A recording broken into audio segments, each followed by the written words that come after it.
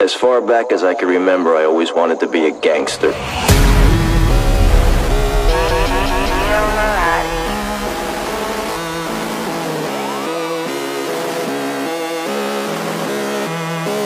Gangster, gangster.